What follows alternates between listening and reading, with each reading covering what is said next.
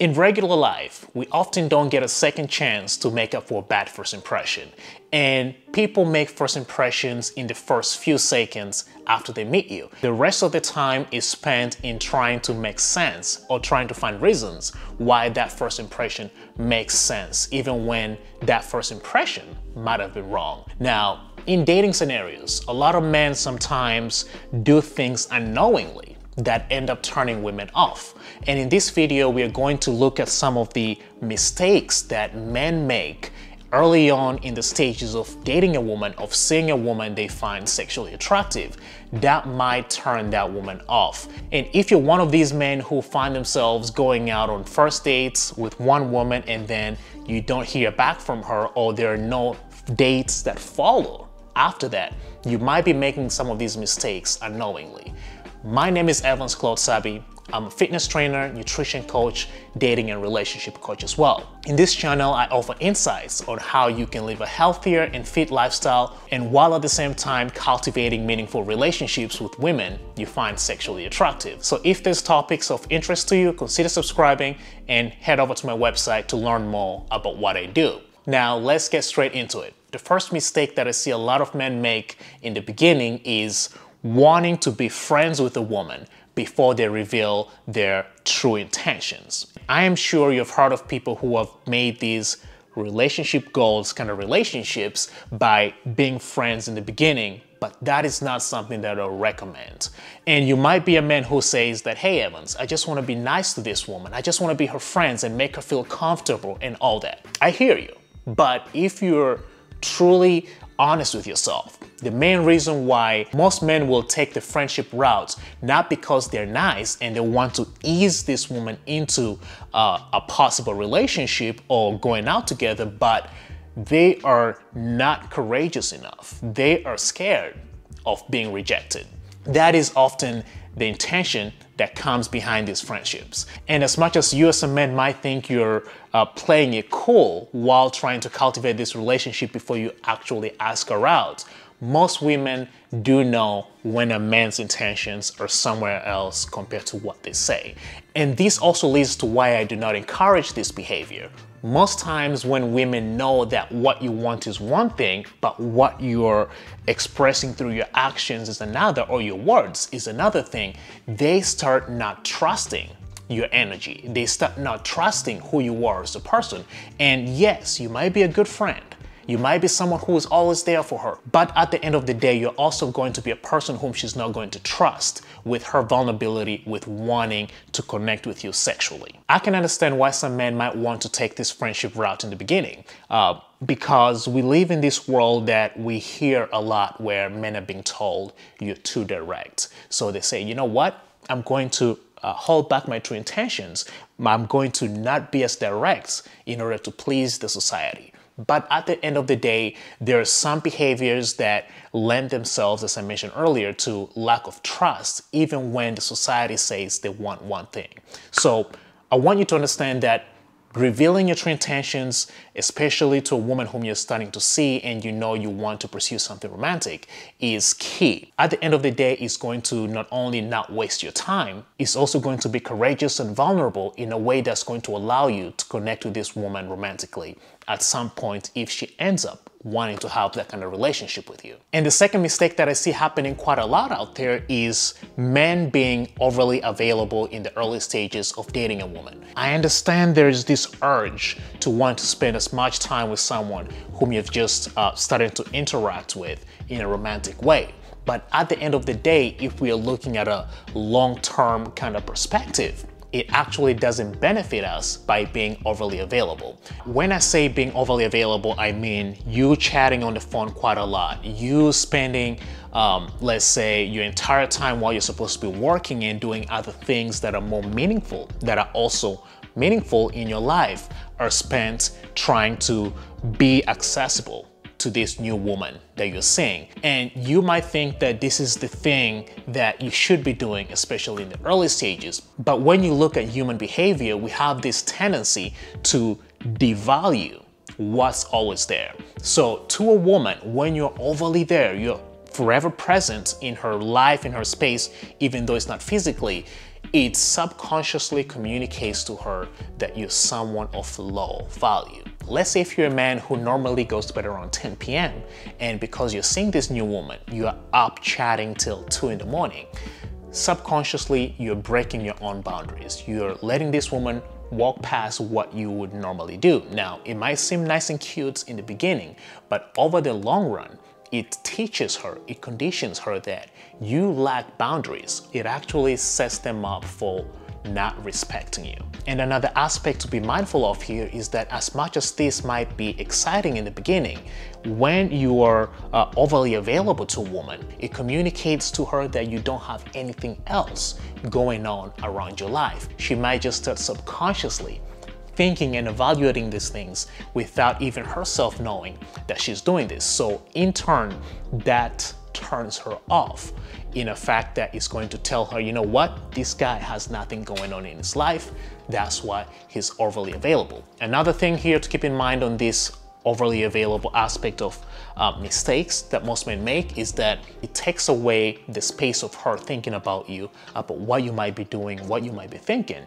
And it puts a woman in a space where she knows each and everything about you, what has happened throughout the week it doesn't entice her to even want to show up or even be excited about a possibility of going out on another date with you uh, if you guys have gone out already. The third mistake that I see a lot of men make is they overshare about themselves on the first date or the first few dates. And the key takeaway here is when a woman, let's say, asks you, hey, tell me something about yourself and most men will unload their entire biography on that first date or during the second date. It might take away that interest or that urge to keep coming back on the second, third dates or even want a relationship in the long run where she asks herself, what is it that I'm going to find out about this guy? So when you uh, reveal too much too soon, it actually doesn't serve you well. And I know dating is about going out with someone, learning about their interests, learning about uh, all these unique things about them. But that also has to happen over a period of time.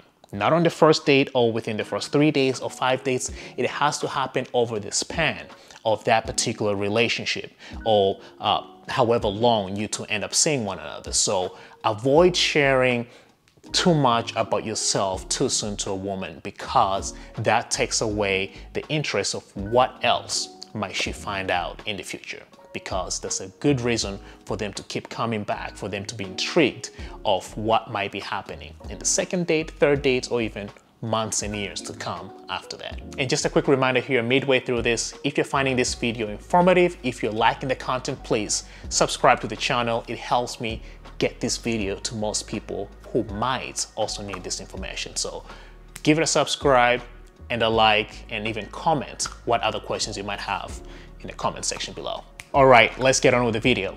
The fourth mistake that I see happening quite a lot out there is men wanting to know where they stand with a woman after a couple dates, one, three days, or even five days in the early stages of seeing one another. And yes, you might be in that space where you're starting to like this woman, even uh, actually starting to fall in love with this woman. And internally, you start feeling this urge to want to know, does she feel the same about you? Does she like you? Does she love you?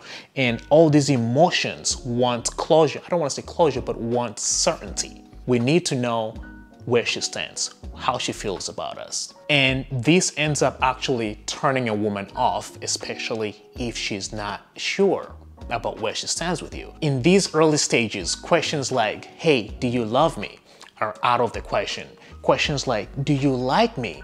are not even supposed to be asked because the fact that she's on a date with you already communicate her interest of wanting to spend time, of wanting to have fun, of wanting to get to know one another. And if you end up asking a woman during this period where you're just getting to know one another about where you two stand, it actually kind of forces her to have a decision about where this relationship might be going even when she's not ready. She feels like she's been cornered to choose the trajectory of where that relationship should go. This early stage is a time for you to get to know one another, to have fun, to create these connections that will eventually lead to something of more long term if that's what both of you want. And of course, this is dating that could lead maybe to a relationship. Uh, certainty is not one of those things you should be looking for. And at the same time, a man's sense, a man's acceptance of uncertainty will lead to him being relaxed. And at the end of the day, if a man is relaxed, enjoying getting to know a woman,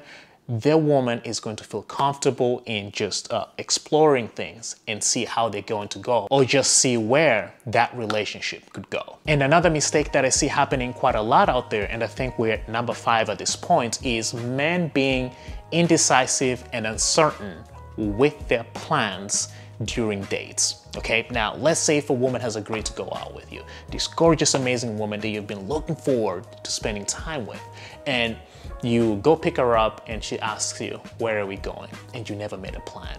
All right, I see this happening quite a lot. Or during the process of making or setting up that date, you start asking a woman, where do you want to go? When a woman wants to go out on a date, she doesn't want to be put in a space where she has to be making decisions on where you guys are gonna go or what you guys are going to do. Most women, and they'll say, uh, confidently say 90 plus percent of women want to show up, look good, feel comfortable around a man and let a man take the lead in that date. And this is where you having that uh, assertiveness in how you show up, and this is where you having a clear decision making of, hey, I'm going to take her to this place and this place, or just having different options in your head of where you could go, just in case one of those places uh, kind of doesn't work or if it's a restaurant and it's closed for some reason. So keep in mind, a woman doesn't want to be making decisions on where to go for dates. She wants to show up and know that she can just enjoy your presence, enjoy your energy and have a good time. And you as a man who is inviting this woman on a date should know where you two are going. However, if a woman asks you, hey, what should I wear? Is it going to be more of a casual environment or should I be dressy? Uh, that's where you need to have a clear answer. And again, this is where certainty falls. You can come up and say, you know what, just something casual will do for this one. And she will go back and figure things out and you two can go and enjoy an amazing date. And a woman might say, hey, there's this restaurant or this spot that I would love to take us. And you as a man who is wanting to spend time with her can be flexible, even though you already had a few places in mind of where you wanted to take her, but you can still have that flexibility on other suggestions that she might bring. The mistake number six that I see being made quite a lot out there is men having this need to impress women. Impressing is one of those things that if we are not aware of the impact that it has, it can actually go way too far uh, further than it needs to go. So let's say if you're a man going out on a date with a woman and you're unsure, you're, you're nervous, natural thing to happen there is, hey, let me try to talk or tell her about, let's say, this person that I know, this interesting event that I went to, or these uh, cool things that I've done in my life all this in order to kind of break out of that nervousness. What we fail to realize in this moment is attraction happens when we listen. You're going out with a woman you already know that you find attractive. That's done. Uh, you're trying to create an environment where there can be that connection, where she finds you attractive, you find her attractive, boom, you see what happens next. But when you get in this space of wanting to impress her, you start talking too much, you stop listening you stop giving her the space to express herself. Her connection to you deepens, her attraction to you deepens when she starts talking about herself. This is something about human nature where we love to talk about ourselves, all right? And you as a man, knowing this, you need to give a woman the space where she can express herself, where she can talk about herself, and you sit back and listen. The more she feels like she is safe to talk about things she loves or experiences experiences she enjoyed. It allows her to connect deeper with you and over the long run if you become a good listener. It doesn't mean that you should not express or convey your emotions to her or your excitement about things that you have happening in your life. It just means that you take more of a listener role and you stop wanting to impress her. And this urge to impress people just leaves a bad taste in whoever is on the receiving end of it. So keep this in mind when you feel nervous. Um, and I actually got this from Mark Manson. Uh, he's a writer, and I think it was one of his books called Models. And he talks about this in the sense of not wanting to impress women, but asking yourself, how can this woman impress me? And once you do that, I know it kind of it kind of sounds cocky, but when you ask yourself, how can this woman impress me? It actually puts you in a space where you sit back and ask yourself, what amazing things can I learn about this person? You start being very curious, so your questions are very personal. Uh, they come from a place of uh, what are the cool things that this woman either knows or does or she's been in that I will find very fascinating. And these same questions, these same topics are what will bring out those good feelings, amazing conversations that will connect you to that woman that you're on a date with. So avoid the need to impress women. And if you feel nervous, go in the other space of saying, how can this woman impress me? Just a warning though.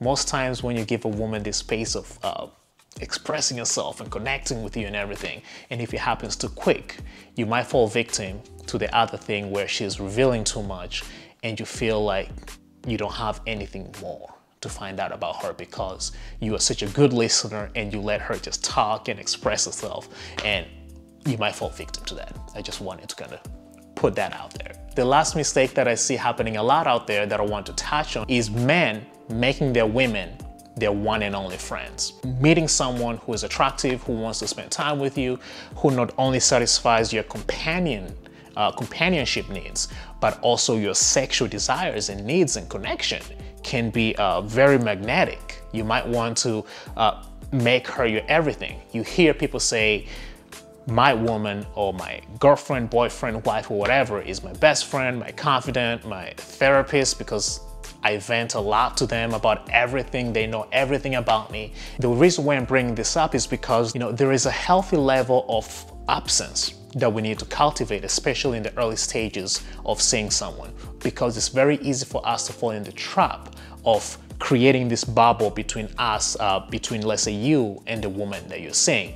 And in the long run, it kind of separates all the other relationships that you might have had in the beginning. So you might have had friends and you'll stop spending time with them at all. Family goes off the, off the rails. Even work sometimes starts going down. So when you're seeing someone new, avoid making them your one and only and try to spend time in the other friendships that you have, in the other relationships, if it's family, work, and whatnot, because we need more than just sexual partners to satisfy our companion needs. We need a village's worth of relationship to satisfy us and feel like we're truly connected. Something that one person uh, should not have to bear. It's, uh, it's a burden when only one person needs to provide all these feelings and all these fulfillments in a relationship in our lives. So with that being said, it's okay to spend less time with your friends. It's okay to spend less time with your family because you've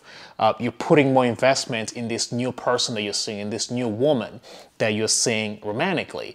But it's not okay to completely cut ties with those other relationships that you had uh, before you met her.